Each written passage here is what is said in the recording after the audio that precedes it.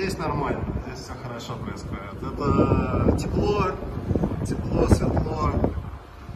Вечером будет красивый закат. Все отлично. Так и живем.